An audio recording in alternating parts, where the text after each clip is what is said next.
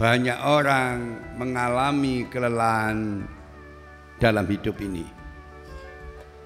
Karena tidak pernah istirahat dan suka ikut campur urusan orang lain. Stop. Dadi akeh wong dadi pengacara. Pengangguran banyak acara. Ngurusi urusane wong. Sehingga lelah.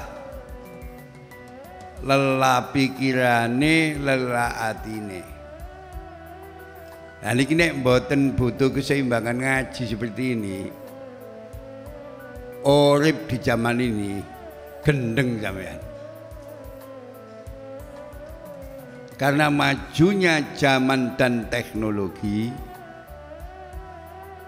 keserakan manusia merasuki segala sektor kehidupan.